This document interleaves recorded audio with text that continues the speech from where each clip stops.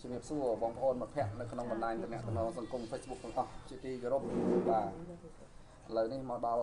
បើកភ្លាម live ភ្លាមតែម្ដងបាទព្រោះមកសើមិញណាត់គ្នាហើយមួយបងប្អូនថាម៉ោង3ឬម៉ោង3ចង់កន្លះហើយ live រឿងអដែងលោកតាបានប្រាក់អឺអអដែងលោកតាលឹកថនបាទដែលរងគ្រោះដោយអយុធធររឿងអាដាមសនីបានប្រាក់អឺយកដីគាត់ទៅលក់ ណាហើយឥឡូវនេះគឺគាត់បានមកផ្ដល់សម្ភារជាលើកទី2ដល់ខ្ញុំនៅដល់ផ្ទះតែម្ដងបាទ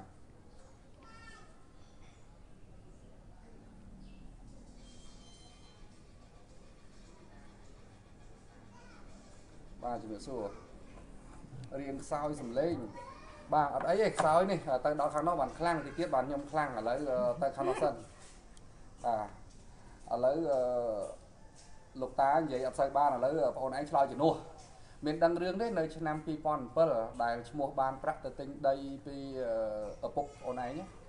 បានដឹងបងបានដឹងដឹងបាទហើយមានដឹងថាអឺនៅឆ្នាំ2007ហ្នឹងអឺបានប្រាក់ទិញហ្នឹងគឺទិញដីទំហំប៉ុន្មានទំហំ10ហិកតាបងព្រមព្រៀងនេះ10ហិកតាបាទបាទបងហើយអឺ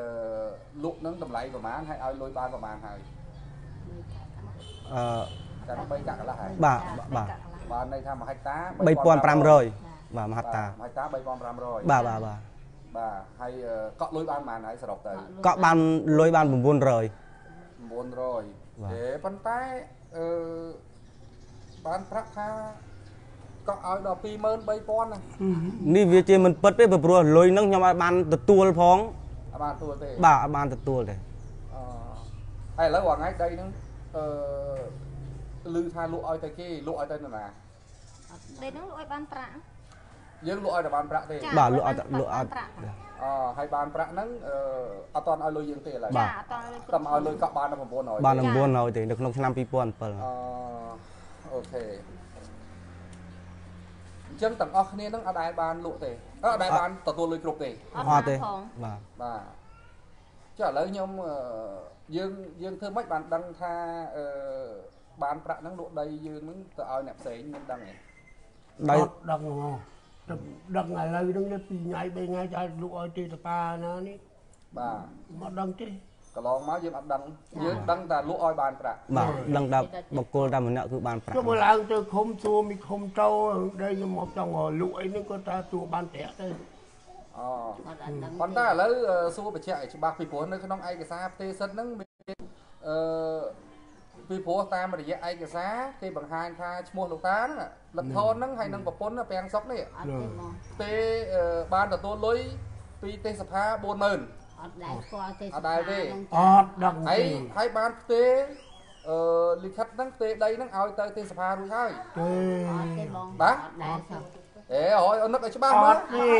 រុកនៅក្នុងខ្វាក់ព្រីដល់ណាក៏ខ្ញុំអត់ដឹងទេ អត់ដែរស្គាល់ទេឥអត់ទេឡូវដែរស្គាល់ថាទេសភាហ្នឹងស្រីឬប្រុសហើយមិនដឹងទៀតទេអត់ដឹងទេអត់ទេដឹងថាបងគាត់ប្រាប់ថាស្រីណា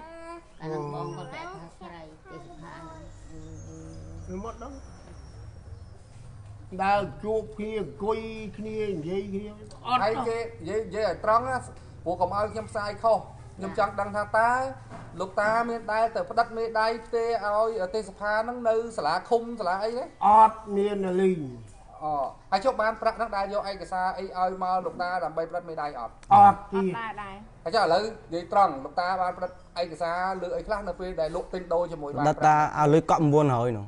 អូបានន័យថាផ្ដិតតែលើលុយកក់900ហ្នឹងបាទ900ថ្ងៃ12ថ្ងៃ12ហើយផ្ដិតប្រមាណដងដងតែម្ដងដិតតែម្ដងហ្នឹងអត់តែផ្ដិតអីផ្សេងទេអត់ដល់យកកដាស់មកឲ្យយើងផ្ដិតរឿងអីអត់ដល់គ្រូអឺ វាអត់ត្រូវគ្នាផងមិនដឹងអឺហើយឥឡូវចេះព្រោះខ្ញុំខ្ញុំមានឯកសារជាច្រើនបង្ហាញថាទី1លោកអ៊ំបានអឺទទួលលុយ40000ពីទេសភាណ៎អញ្ចឹងអ៊ំអត់ដែលបានទទួលទេហ៎ហេមកកំដងងខ្ញុំដឹងផងអត់ដែលទេអត់ទេអូហើយអឺចុះអត់មកពីណាបងអូននេះឈ្មោះអីអានអល់អានអុលនេះ អានអុលនេះអឺមានឈ្មោះថាបកគលលុយឲ្យទៅអឺទទួលលុយឯងទទួលលុយទទួលលុយអឺ30000ណានេះទទួលលុយ30000ពីលោកស្រីទេសភាដែរតែមានដែរបានទទួលអត់អត់ដែលបានទទួលផងបងអត់បាទអត់ដែលបានទទួលលុយហើយអត់អត់ដែលស្គាល់អឺឈ្មោះទេសភានឹងទៀតអត់ដែលជួបទេបាទអត់ស្គាល់ទេអត់ដែលស្គាល់សោះហ្មងបាទបាទហើយសំបីតែលុយក៏អត់ដែលបានទទួលទៀត បាទមកកាក់ម៉ាស៊ីនក៏អត់ដែលបានដែរមកបានប្រាក់អីដែលយកលុយមកឲ្យហ៎អត់ដែលដែរបងអូអត់ទេការតំណាក់តំណងអត់ដែលហើយឃើចុះញអឺពីណាគេឈ្មោះឌៀបណប់ហ៎នៅដីហ៎ឌៀបណប់ដីនេះដីហ៎បាទអូហើយប្តីឯងអឺមានអឺព្រោះនៅក្នុងហ្នឹងគេដាក់ឌៀបណប់ហ្នឹងក៏បានលុយ30000ពីលោកស្រីទេសភាដែរតែខ្ញុំអត់ដឹងអត់មានទេចាគាត់ដែរស្គាល់ដែរស្គាល់ដីអត់ដែរស្គាល់ទេចាចាអត់ដែរស្គាល់មែនអត់ស្គាល់ដីទេអត់ចង់និយាយថាអត់ស្គាល់ដីមកអត់តត្រៀទេមទ្រការមក អូអេតាចាហើយចាតែអត់ដែរស្គាល់ទេសភាទេអត់ស្គាល់ទេសភាទេចាបាទព្រោះឥឡូវអឺរឿងរ៉ាវអញ្ចឹងរាល់ថ្ងៃដីហ្នឹងឥឡូវខ្ញុំសួរមួយទៀតរាល់ថ្ងៃបច្ចុប្បន្ននិយាយជាក់ស្ដែងដីហ្នឹងរាល់ថ្ងៃណាគេគ្រប់គ្រងខ្ញុំខ្ញុំបាទខ្ញុំធ្វើរហូតពុកម៉ែខ្ញុំនៅកាន់កាប់រាល់ថ្ងៃរាល់ថ្ងៃហ្នឹងចាអញ្ចឹងគេថាអត់ដែលយើងទៅក្បែរដីទេអឺវាទេអត់នោះ បាទខ្ញុំរហូតគាត់ទៅតើគាត់ជួលគាត់ជួលឲ្យគេរាល់ឆ្នាំរាល់ថ្ងៃហ្នឹងបាទអនុផលឲ្យគេរាល់ឆ្នាំមុនគាត់ធ្វើដល់ពេលគាត់ចាស់គាត់ចាស់ទៅគាត់គាត់គេបាទអូព្រោះចេះខ្ញុំចង់បានព័ត៌មានពិតអញ្ចឹងបានន័យថាដីយើង10ហិកតានៅអឺភូមិពពាលខែហ្នឹងយើងអត់ដែលលក់ទេចាអត់បាទអត់ហើយអត់ដែលបានផ្ដិតមេដៃផ្ទេទៅឲ្យនរណាទេបាទចាហើយគាត់នៅកាន់កាប់រហូតទឿនសប្ថ្ងៃទៀតអូចាទេបាទកាន់កាប់ដល់សប្តាហ៍ថ្ងៃបាទ សំបីថាមានទំនាស់ជាមួយបានប្រាក់មែនតែគាត់នៅតែនៅតែកាន់កាប់ដីនឹងរហូតនៅតែចុះទៅមើលរហូតដែរអូខេអញ្ចឹបាងទអត់មានគេមកបោះបកគោយកអីទេអបាទអត់មានទេបាទអអូមានមានអាមហតាអាកលាតាលិចនោះបាទចូលគេបន្តិចដែរបាទចូលចូលទៅបន្តិចនេះអូខេហឹមចឹងច្បាស់ហើយណាចា មកឥឡូវខ្ញុំសុំនេះម្ដងទុកខ្ញុំអ្នកនិយាយមកនោះនោះមែនទេនោះបិទនោះស្វាត់ចាបិទក៏អឺព្រោះយើងចង់រកតការពិតទេ យើងអត់ចង់បានអីទេបាទជំរាបសួរបងប្អូន បាទឃើញខ្ញុំហើយបងប្អូនមិញបានឮផ្ទាល់តាជាហើយណាគឺលោកតាបានប្រាក់ អឺសុំទោសលោកតាលឹកថនហើយនឹងប្រពន្ធឈ្មោះពាំងសុករួមទាំងកូនណាកូនបកើតកូនបាសាអីមកអស់ហើយនៅផ្ទះខ្ញុំនេះ ជាពិសេសអឺឈ្មោះ3នាក់ដែលពាក់ព័ន្ធនឹងការទទួលលុយមានឯកសារណាគឺអឺឈ្មោះឌៀបណុច3អឺឌៀបណប់30000ហើយនឹងអឺអានអុល30000ដែរហើយនឹងអឺលឹកថន40000គឺអត់មានទេ អត់មានសោះតែម្ដង បាទហើយសំខាន់អឺលោកតាលឹកថនហើយនឹងប្រពន្ធហ្នឹងក៏អត់ដែលស្គាល់បងស្រីទេសភាទេអត់ដែលស្គាល់ទេ ហើយខ្ញុំនេះសួរទៅបងស្រីទេសភាក៏គាត់បានបញ្ជាក់ប្រាប់ដែរគាត់ថាគាត់អត់ដែលស្គាល់លឹកថនហ្នឹងបែរមុខទៅណាទេ ពីព្រោះគាត់ទិញដីគាត់បកគលឲ្យទៅឈ្មួញកដាលបានន័យថាឈ្មោះឧត្តមសេនីយ៍បានប្រាក់គឺបានប្រាក់នេះគឺជាអ្នកយកលុយពីគាត់អ្នករៀបចំឯកសារគ្រប់បែបយ៉ាងពីគាត់អញ្ចឹង រឿងសំបីតែឯកសារអញ្ចឹងអឺឯកសារគឺមានតែបានប្រាក់ទេអ្នកធ្វើគ្រប់បែបយ៉ាងទាំងអស់បាទគាត់គ្រាន់តែផ្ដិតមេដៃឲ្យទេណាលោកស្រីទេសភាគាត់បានអះអាងណាគាត់គ្រាន់តែផ្ដិតមេដៃឲ្យទេណាអញ្ចឹងរឿងនេះហើយជារឿងដែលប្រជារាស្ត្រឈឺចាប់ឈឺចាប់យ៉ាងម៉េចទៅកក់ដីគេឲ្យលុយគេអត់តន់គ្រប់ផងណាតែបើតាមការ លោកតាអះអាងថាទទួលលុយកក់បានតែ900ប៉ុន្តែលោកអឺដំសនីហ្នឹងប្រាប់ថាអឺបានកក់ឲ្យលោកតារហូតដល់23500អញ្ចឹងវាខុសគ្នាតែអាហ្នឹងខ្ញុំមិនមិនមិនវែកញែកទេទុកឲ្យតឡាការគេស្រាវជ្រាវទៅអ្វីដែលខ្ញុំនិយាយនៅទីនេះគឺគ្រាន់តែចង់បញ្ជាក់ប្រាប់មហាជនឲ្យបានជ្រាបថាតាលឹកថនហើយនឹងក្រុមគ្រួសារគាត់អត់ដែលបានលក់ទេអត់ដែលបានលក់ដី10ហិកតាហ្នឹងទេ គឺធ្លាប់លក់ឲ្យតែបានប្រាក់មួយគត់ហើយកក់លុយហើយដាច់អត់ឃើញមកតំណែងតំណងស្រាប់តែចេញឈ្មោះទៅផ្ទេឲ្យទៅអ្នកផ្សេងបាត់បាទគាត់អត់ដឹងរឿងទេនេះជារឿងអយុត្តិធម៌មួយបាទរឿងអយុត្តិធម៌មួយអញ្ចឹងក្រោយពីព័ត៌មាននឹងបែកធ្លាយខ្ញុំបានផ្សាយលើកទី1ខ្ញុំចុះទៅដល់ដីនឹងផ្ទាល់ខ្ញុំចុះទៅផ្សាយជួបលោកតាលក្ខថនផ្ទាល់បាទនិយាយពីរឿងបានប្រាក់យកដីនឹងលក់ស្រាប់តែបានប្រាក់គេប្រតិកម្មគេបានជាមួយមេធាវីមកជួបខ្ញុំដល់ផ្ទះដើម្បីបំភ្លឺណាអញ្ចឹង ធម្មតានៅពេលដែលបានប្រាក់មកបំភ្លឺខ្ញុំត្រូវតែទទួលការបំភ្លឺហើយពីព្រោះអឺយើងមិនអាចផ្សាយព័ត៌មានតែមួយជ្រុងទេយើងត្រូវផ្សាយព័ត៌មានទាំងសងខាង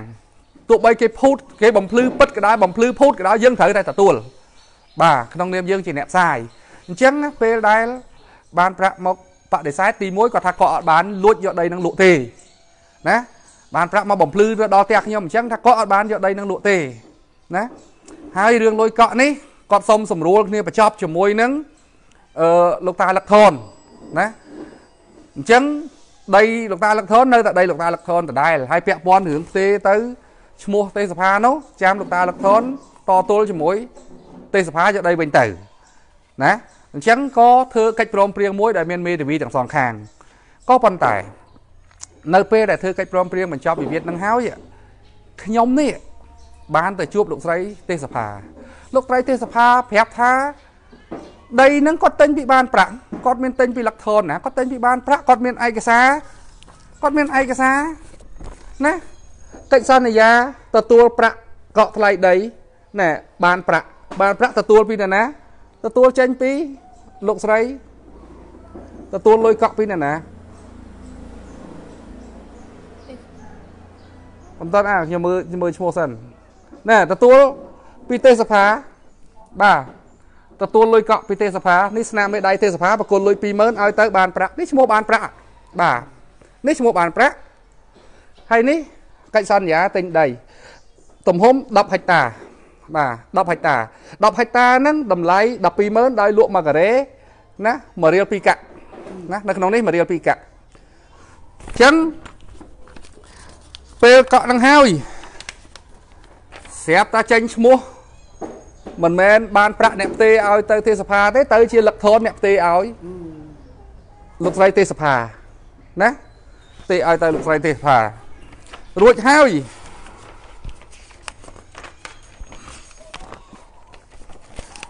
នេះជាឯកសារសែកឲ្យលុយឈ្មោះបានប្រាក់បាទឈ្មោះបានប្រាក់នេះឈ្មោះបានប្រាក់សែកហ្នឹងគឺជារបស់លោកស្រីទេសភានេះក៏ឈ្មោះបានប្រាក់ បាទនេះសញ្ញេបានប្រាក់ទទួលនេះលោកស្រីទេសភាបកុលនេះសាក់សីណាបាទមានត្រឹមត្រូវនេះក៏ជាឯកសារបានប្រាក់ទទួលលុយដែរបាទបានប្រាក់ទទួលលុយទាំងអស់សរុបទៅសរុបទៅទាំងអស់120,000ថ្លៃដី10ហិកតាហ្នឹងដូច្នេះហេតុអីបានបានប្រាក់មកភូតកុហកខ្ញុំថាអត់បានលក់ដីហ្នឹង ភូតកុហកទៅលោកតាអឺលឹកធនថាអត់បានយកដីនឹងលក់ចុះឥឡូវបើអត់បានដីលក់តើឯកសារនេះបានមកពីណាបាទនេះជាលិខិតទិញលក់ដីបាទឯកសារទិញលក់ដីឈ្មោះនេះឈ្មោះបានប្រាក់បងប្អូនមើលនេះនេះបានប្រាក់បាទមិនមែនយើងបញ្ចេញបញ្ចូលទេហើយឯកសារនេះគឺលោកស្រីទេសភាថតចម្លងឲ្យខ្ញុំបាទគាត់ថតចម្លងឲ្យខ្ញុំអញ្ចឹងរឿងអាដាមសនី នឹងគាត់ថាគាត់អត់បានលក់តើការពិតនៅកន្លែងណានេះហើយជាចំណុចភូតកុហកបោកប្រាស់មិនមែនបោកប្រាស់តែតាលឹកថនចាស់ចរិយាក្រីក្រទុនខ្សោយទេផទាំងផែងវណ្ណៈទៀតបាទមកស្បត់ផ្ទះខ្ញុំមកស្បត់ស្បែកផ្ទះខ្ញុំសូមឲ្យខ្ញុំនិយាយបើខ្ញុំនិយាយមិនពិតសូមឲ្យទេវតាបារាមុខវត្ថុស័ក្តិសិទ្ធិក្នុងផ្ទះខ្ញុំកាច់បំបាក់កអីណានេះខ្ញុំថាអត់បាច់បំបាក់កទេឲ្យតែដឹងការពិតទៅបានហើយណា ហើយកលេចមកមើលអាញាធរភូមិឃុំណាអាញាធរភូមិឃុំសិតតាធ្វើលិខិតបញ្ជាក់ណែអានេះមេភូមិនេះចាប់វាយខ្នោះដាក់គុកអត់ខុសទេបើតឡាការធ្វើដោយត្រឹមត្រូវគឺចាប់មេភូមិនេះឈ្មោះអីនេះឈ្មោះច័ន្ទភក់នេះណាតួនាទីមេភូមិពពាលខែនិងឈ្មោះបាច់ផុនមេភូមិពីរហ្នឹងចាប់ដាក់គុកអត់ខុសទេ ហេតុអីបានយើងថាចាប់ដាក់គុកអត់ខុសព្រោះមេភូមិពីរនាក់នេះជាអ្នកខົບខិតគ្នាជាមួយបានប្រាក់មេភូមិពីរនាក់នេះអ្នកសញ្ញេទៅឲ្យមេឃុំដឹងឮគាត់សិតតែបញ្ជាក់ថាលឹកធនហ្នឹងនឹងប្រពន្ធហ្នឹងលក់ដីហ្នឹងទៅណាទៅឲ្យឈ្មោះអាដែងដី10ហិកតាហ្នឹងលក់ទៅឲ្យអាដែងឈ្មោះទេសភាឲ្យហើយណាហើយមានរហូតដល់មានលិខិតផ្ទេរសិទ្ធចែកចេញ ជា3ឈ្មោះលឹកថនឈ្មោះពាំងសុកទំហំ4ហិកតាឈ្មោះជាមនប់និងពាំងស្រីស្រីហាចអឺ3ហិកតានិងអានអុលនិងពាំងសុកភឿន3ហិកតាណាដូចមាននៅកិច្ចសន្យាទិញលក់ព្រមទាំងលិខិតធានាអាងនិងទទួលប្រាក់ចំនួនណាគ្រប់ចំនួនចុះថ្ងៃទី20ខែធ្នូ2010អឺ2007ណានេះគឺជាលិខិតបញ្ជាក់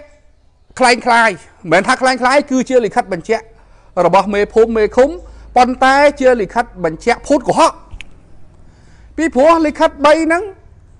តាលឹកថនក៏អត់ដែរបានលុយមួយរៀលផងហ្នឹងហើយហេតុអីបានមេភូមិនេះបានមេភូមិនេះទៅបញ្ជាក់ថាគេបានទទួលលុយហាឥឡូវលោកពូដឹងអាយុប្រហែលហើយទេមេភូមិហ្នឹងយើងខ្ញុំច័ន្ទធុ មានតួនាទីជាមេភូមិពពាលខែនិងឈ្មោះបាច់ផុនមានតួនាទីជាមេភូមិពពាលខែ2ណាពីរហ្នឹងគឺផុតកុហករួមទាំងមេឃុំដែរខົບខិតគ្នាជាប្រព័ន្ធជាមួយនឹងអាដាមសនីបានប្រាក់ណាយកដីប្រជាជនយកទៅលក់ណាហើយធ្វើរបាយការណ៍ភូតកុហកគេអញ្ចឹងណាភូតកុហកគេអញ្ចឹង ធ្វើបាបអ្នកក្រធ្វើបាបអ្នកទុនខ្សោយហើយលោកឯងធ្វើមេភូមិបើធ្វើអំពើថោកទាបបែបនេះឥឡូវលោកឯងបញ្ជាក់យ៉ាងម៉េចបើសិនជាហេតុអីបានបញ្ជាក់បើឯកសារទាំងអស់ហ្នឹងគេរកឃើញថាជាឯកសារคล้ายคล้ายហ្នឹងប៉ូលីសគេរកឃើញថាឯកសារคล้ายคล้ายឯកសារហ្នឹងគឺបានប្រាក់អ្នកធ្វើបានប្រាក់អ្នកយកទៅបាទនេះប៉ូលីស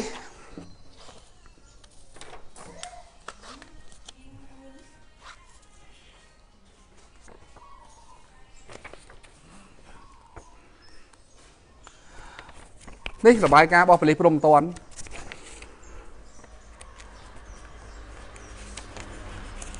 គេបានធ្វើកសលបច្ច័យគេរកឃើញលិខិតដែលបានប្រាក់យកមកប្រើហ្នឹងគឺคล้ายคล้ายគេបញ្ជាក់ថាคล้ายคล้ายបាទគេបញ្ជាក់คล้ายคล้ายហើយហេតុអីបានមេភូមិថាហ្នឹងឯកសារត្រឹមត្រូវបាទ នេះហើយគឺជាការបង្កើតនៅរឿងអយុត្តិធម៌នៅក្នុងសង្គមនៅក្នុងមូលដ្ឋាន ដែលមេភូមិមេឃុំខលខូចមួយចំនួនហ្នឹង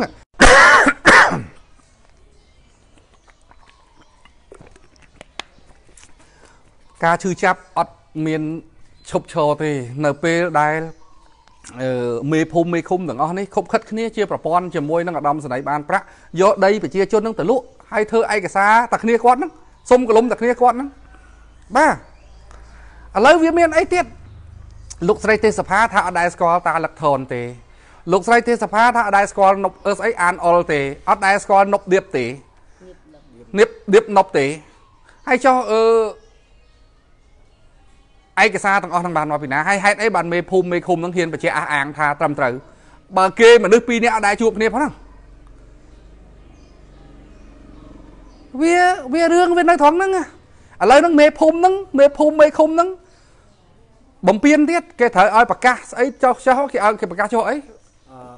ប្លង់ប្រព័ន្ធជើប្លង់ជាប្រព័ន្ធណាគ្រួសារគាត់មួយហ្នឹងគឺអត់ព្រមធ្វើឲ្យទេថាដីមានដំណោះដីមានរឿងអីណាខົບខិតគ្នាលួចដីគាត់ហើយបិទអត់ឲ្យគាត់ធ្វើបានអត់ឲ្យចុះបញ្ជីទៀតហើយដើរបំភ័យថាដីហ្នឹងរត់យកវិញហើយហើយចុះបើរត់យកវិញមិនក៏អ្នកផ្សេងធ្វើឲ្យគ្រប់គ្នារឿងរត់យកឬមិនយកទុកឲ្យតាលឹកថនឲ្យរត់ដោះស្រាយមួយគ្នាចុះអត់មានពាក់ព័ន្ធជាមួយមេភូមិមេឃុំហ្នឹងទេ ព្រោះគាត់កាន់កាប់ដីគាត់យូរឆ្នាំមកហើយពូកាន់កាប់បានឆ្នាំអីតាំងពី79 79មក40ឆ្នាំហើយ42ឆ្នាំហើយអឺ41ឆ្នាំហើយបាទនេះជារឿងអយុត្តិធម៌បាទអយុត្តិធម៌ណា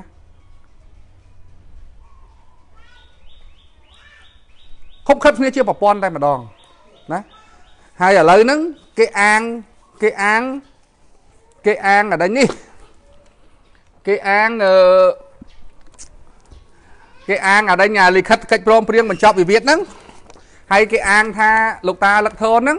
ដកពាក្យប្តឹងឥឡូវនេះខ្ញុំចង់បញ្ជាក់ទៅដល់មហាជនទាំងអស់ឲ្យបានជ្រាបនេះគឺពាក្យបណ្ដឹងបន្ថែមណាបានន័យថាប្រជាជនលោកតាលឹកថនអត់ដកទេ នេះតំវៃត្រាចូលមិញនេះ ម៉ោង2:40នាទីមុនហ្នឹងមុនមកជួបខ្ញុំហ្នឹងគឺវៃត្រាចូលអាយកាអមសាលាដំបងខេត្តកដាលចូលណាថ្ងៃទី6ខែ2ឆ្នាំ2020វេលាម៉ោង4អឺ14:40នាទីបើន័យថាម៉ោង2មុនហ្នឹងនេះគឺជាលិខិតប្តឹងបានប្រាក់បន្ថែមអត់មានដកពាក្យបណ្ដឹងទេអញ្ចឹងកុំសង្ឃឹមថាខ្លួនឯងបានរួចខ្លួនណាបានរួចខ្លួន ហើយកិច្ចព្រមព្រៀងបញ្ចប់វិវាទនោះ ទុកឲ្យតឡាការគេធ្វើការចោះទុកឲ្យមេធាវីសងខាងគេធ្វើការចោះតែឥឡូវនេះខ្ញុំឲ្យដំបងលោកតាថាដកពាក្យបណ្ដឹងឥឡូវដកនេះបណ្ដឹងថែមហ្មងណាដាក់ពាក្យបណ្ដឹងបន្ថែមបណ្ដឹងទៅតឡាការបណ្ដឹងឧត្តមសេនីយ៍បានប្រាក់នឹងតែម្ដងបាទពីព្រោះគាត់លក់លួចដីគេលួងបាទនេះជារឿងនេះគឺជារឿងអយុត្តិធម៌បាទរឿងអយុត្តិធម៌ហើយបើយើងមិនជួយយើងមើលមើលឲ្យគាត់មកអញ្ចឹងអញ្ចឹងមកផ្ទះខ្ញុំហ្នឹងហាសួរថាមកបានស្អី ថាមានយកលុយមកឲ្យខ្ញុំអត់មកហ្នឹងមកឲ្យផ្សាយហ្នឹងយកលុយឲ្យអត់ណាមានឲ្យមួយរៀលអត់ហ្នឹងបាទព្រោះមានគេផ្សាយថាងឲ្យតែផែងវណ្ណៈផ្សាយសិទ្ធិភាពច្រើនយកលុយហើយយកលុយស្អីឥឡូវនេះមកពេញមុខផ្ទះខ្ញុំនេះមានតែអស់ទឹកខ្លួនឯងទៀតមានតែកន្លែងទទួលគាត់ទៀតបាទយើងអត់មាននេះទេយើងចង់បានការពិតយើងចង់បានយុត្តិធម៌មួយ សង្គមមួយស្អាតស្អំចង់ឲ្យសង្គមមួយមានយុត្តិធម៌លុបបំបត្តិនៅពួកមន្ត្រីខលខូចដែលខົບខិតគ្នាលួចលក់ដីប្រជាជនលួចលក់ដីនេះ ណាអាញាធរភូមិឃុំនេះខូចហ៊ានបញ្ជាក់ថាលោកតាអលឹកធនយកលុយគេហើយកូនកូនយកលុយគេហើយគាត់អត់ដឹងអីផងឥឡូវហ្នឹងខ្ញុំប្រាប់លោកពូប្តឹងបានប្រាក់អត់គ្រប់ទេណាលោកពូត្រឡប់ទៅវិញលោកពូរៀបឯកសារបន្ថែមដាក់ប្តឹងមេភូមិមេឃុំនឹងទាំងអស់ឡើងមកតុលាការពីព្រោះយើងមានផុសតាងហើយគាត់បញ្ជាក់យើងនេះគឺជាលិខិតបញ្ជាក់របស់មេភូមិអញ្ចឹងនេះគឺជាការផ្ដោតសក្តិកម្មខ្លាំងខ្លាយផ្លូវច្បាប់ចាំរកមេធាវីឲ្យគេធ្វើការមិនឲ្យមេភូមិរួចខ្លួនទេ ពូត្រឡប់ទៅវិញជួបមេធាវីប្រាប់មេធាវីថាពូក្មួយផែងវណ្ណៈផ្ដាំមកថាឲ្យលោកមេធាវីរៀបចំឯកសារប្តឹងមេភូមិទាំងពីរទាំង3ហ្នឹងមេភូមិមេឃុំហ្នឹងព្រោះមិនត្រូវឲ្យលួចខ្លួនទេណាត្រូវតែប្តឹងមកសល់មួយថ្ងៃគេចាប់មេមេភូមិមួយនៅពោធិ៍សាត់ដាក់គុកបាទដោយសារមេភូមិខូចខូចចឹងអញ្ចឹងរឿងនេះនៅខេត្តកដាលយើងនេះនៅស្រុកគៀនស្វាយឃុំដីឥដ្ឋនេះក៏អត់ត្រូវឲ្យរួចខ្លួនដែរប្តឹងតាមផ្លូវច្បាប់ពីព្រោះយើងមានផុសតាងអស់ហើយហ្នឹង បាទផុសតាងអស់ហើយអញ្ចឹងពូឲ្យមេធាវីរៀបចំទៅពូអត់ចេះពូប្រាប់មេធាវីឲ្យមេធាវីគេរៀបចំហើយបើមេធាវីឆ្ងល់អីអាចទូរស័ព្ទមកខ្ញុំខ្ញុំជូនព័ត៌មានបន្ថែមឲ្យទៅគាត់ដើម្បីថាត្រូវធ្វើម៉េចការពារភាពស្របច្បាប់របស់យើងរៀបឯកសារប្តឹងមកឲ្យត្រូវព្រោះយើងអត់ឲ្យមេភូមិអស់ហ្នឹងរួចខ្លួនទេបាទផ្ដាំទៅឲ្យហើយណាមេភូមិពពាលខែពពាលខែ2នោះបាទជាមួយនឹងមេឃុំដែលខົບខិតគ្នាជាប្រព័ន្ធជាមួយបានប្រាក់នោះ យកដីគេអត់មានអត់មានយកសញ្ញេដល់ដីគេលក់ម្ចាស់គេអត់ដឹងហ្នឹងបាទរឿងថោកទាបបាទរឿងថោកទាបអញ្ចឹងបងប្អូន share ឲ្យច្រើនទៅ share ឲ្យច្រើនដើម្បីឲ្យដឹងអំពីអំពើអាក្រក់របស់ពួកហ្នឹងបាទហើយអន្តរាគមអន្តរាគមណារអាងអីទេរអ្នកធំទេមកខ្ញុំសើផ្កាយ3ផ្កាយអីចឹងទៅផ្កាយ4អីចឹងទៅតែខ្ញុំប្រាប់ហើយខ្ញុំថាខ្ញុំអត់ស្ដាប់ទេ កុំទេមកខ្ញុំខ្ញុំផ្សាយតែរឿងពិតទេបើផ្សាយមិនពិតប្តឹងខ្ញុំទៅខ្ញុំមុននឹងផ្សាយខ្ញុំមានឯកសារទាំងអស់នេះឯកសារច្រើនណាបាទមិនមែនចេះតែនិយាយព្រាវព្រាវប៉ះឧត្តមសេនីយ៍គេប្តឹងយើងងាប់ហ៎បាទឥឡូវឧត្តមសេនីយ៍ហ្នឹងខ្ញុំប្រកាសឲ្យឲ្យចូលផ្ទះខ្ញុំហើយបាទអត់ឲ្យចូលផ្ទះខ្ញុំទេ ពីព្រោះគាត់មកភូតកុហកគាត់មកបោកប្រាស់អញ្ចឹងខ្ញុំមិនឲ្យចូលព្រោះខ្ញុំនិយាយតែជាមួយមនុស្សស្មោះត្រង់ហើយមនុស្សភូតកុហកខ្ញុំឲ្យចូលផ្ទះខ្ញុំទៅអីបាទអត់ឲ្យរួចខ្លួនទេព្រោះមេភូមិមេឃុំនេះខូចបាទហើយខ្ញុំអាណិតលោកស្រីទេសភាវិញណោះឲ្យលុយគេអស់ហើយរងគ្រោះឥឡូវហ្នឹងគេចោទថាបត់ខ្លែងឯកសារបត់ស្អីណាគាត់ចេះសំណាងហើយយើង រកគាត់ឃើញដូចជួយគាត់ចឹងលោកស្រីទេសភាហ្នឹងដូចយើងជួយគាត់ចឹងព្រោះគាត់រងគ្រោះដែរហ្នឹងគាត់មិនដឹងណាគាត់អាងថាឈ្មោះកដាលគេណារៀបឈ្មោះកដាលធ្វើបាបគាត់ចឹងមានគាត់មិនដឹងណាបាទចឹងឥឡូវលោកតាលោកយាយត្រឡប់ទៅវិញកុំបារម្ភកុំភ័យចាំទុកឲ្យមេធាវីគេធ្វើការមួយតឡាការណាដើម្បីគេរកយុទ្ធធរឲ្យកុំបារម្ភ ណាកុំអស់សង្ឃឹមមើលតាគាត់ធ្វើមុខចឹងគាត់ភ័យគាត់បាទហ្នឹងហើយបានអង្គុយលេងចៅជាមួយគ្នាទៅដល់គេធ្វើបាបអីបាទហ្នឹងហើយឥឡូវនេះអឺរឿងវាអញ្ចឹងណាអញ្ចឹងអឺរឿងពិតអត់មានអីលាក់កំបាំងទេណាហើយសូមបញ្ជាក់ថា